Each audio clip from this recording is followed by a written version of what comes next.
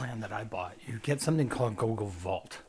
Now, this really is kind of one of those weird kind of things on the side, but is probably one of the more important things that you've got because this is how you can retain data. So, if you have a discovery or a legal process or something else that you need to do that requires indefinitely keeping data or delete it, you can set your data retention rules here.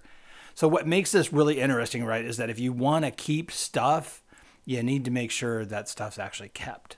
So you can actually go in if you want to go ahead and do duration is going to be indefinitely, right? So we'll go ahead and we'll create that rule and that will go ahead and keep all of the Gmail. I want to keep all of their drives indefinitely. Um, I want to go and do I really want to keep their groups? Yeah, we're going to go ahead and keep their groups indefinitely because remember, purge only deleted messages. Yeah, we'll go ahead and we'll do that. Um, we'll go ahead and we'll keep that indefinitely. Again, I'm small, so I'm going to keep a whole lot of data, right? Um, no default retention on chat. Now, chat's really kind of important because things happen in chat that wouldn't otherwise happen, right? So, chat is really important to do. Meetings, I actually want to keep all of my meeting data as well. Um, I understand the following, right? When you turn on meeting retention rules. So, we'll go ahead and we'll set that on later on. And then we'll go ahead and we want to set our sites um, indefinitely, and we'll go ahead and do that. Now, the reason why I'm doing this, right, is setting this up, is because Vault, again, this is where you keep all of your discovery data. So now I've literally got this thing hooked into keeping all of the information that I've got. And because I have that process, I can go ahead and now set up other things. Right now I can set up custom rules. So if I want to like go ahead and choose a service, that I want to keep, right? We already have all our service. Now, if I have a service and I have been given a, a person that I need to monitor, right? So I have a uh, thing, Gmail, choose where to apply your rules. So scope, so we'll go ahead and we'll continue. Um, choose an organizational unit. Senior leadership is being sued. So we want to keep all of our senior leadership from date sent to end date, right? And then terms, query terms. So anything that we need to do. So let's just do a start date. Um, let's do March 17th to March 31st. Query terms, and we just want this to be Dan, right? And we'll do that. So now I have a rule that for everything I send from the 17th to the 31st is retained indefinitely. Now this is stuff I can peel off later and hand off to a lawyer. This is a really powerful tool for going ahead and creating very specialized kinds of things to pull data across that process kind of cool. Now your settings on this one too, right? Meet retained by drive rule and retained by sites rule, and that's okay, right? So your drive rules, we don't have data retention drive rules, so we don't have any of that going on right now. So when I'm turning on the meeting, I can go ahead and retain it forever, and I would want to do that. Now Vault is also accessed a little bit differently, right? So it's through vault.google.com.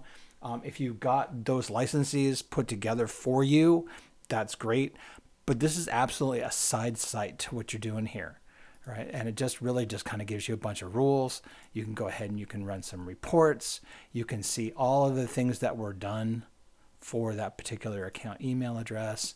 So let's do me, right? Check and see. Uh, let's go ahead and select all. And then what we'll do is we'll download it as a CSV file. And I'm going to go ahead and it's going to open up in Word probably. Oh, no, it's going to open up in numbers. So hold on. Woo. So again, so here's everything that was done that I did. Here's every action that I have taken on this whole thing. So we go back and we audit everything I've done. This is lawyer ready. You can go ahead and pull this straight on over. You get your milliseconds, your dates, your action. What did I exactly do? And you got it. You can go in and you can see what I pulled, what I did, how I did it um, and exactly what the details were around what I just got done doing. This is great again for discovery, right? And we of go from there. It's just another way of doing it. You can actually put on a domain hold. You can go user holds, right? So if you want a user hold, you can go ahead and pull everything up or by group. So see someone is being harassing in a group, you can do this if someone is being harassing in a user hold or has a very specific legal thing that they want you to come back and check because the person's been doing like really crazy stuff on their company account. you pull all this stuff in. And again, these reports are actually really kind of handy. Um, you can search and export data, and then you can again just go ahead and review the holds and audit vault activity. So really important side tool to what you're doing here. And again, the URL is different. It's just vault.google.com. Man, make sure you're playing with this one. Make sure you're actually in there and doing and setting up those retention rules. This is probably one of your more interesting things to do. And it kind of follows not just under what you get for your administration side, but it also falls under what you need for your security and audit and legal side and compliance side as well. So this is kind of one of those dual use kind of technology systems. But definitely make sure you've got this thing going all the time. All right, that's it for Google Vault. Again, really straightforward. Just make sure you're going to vault.google.com and then go ahead and set your retention rules because by default there are none. And then go ahead, save it all, see what ends up happening. If you're running out of space, go ahead, feel free to cut back on whatever you need to cut back on. But if you do have a legal discovery, if someone is suing the company or someone is like going after someone in the company for whatever legal reason, this is where you go. And if someone gets fired and you didn't catch them fast enough and they deleted all their data, this is where you can also pull that data back and reuse it. So you can actually restore data from here if someone goes out and deletes something that they shouldn't have because they got really angry. So again, this is probably one of your better products for your backups and retention and everything else. All right, that's it for this section. I'll see you in the next one.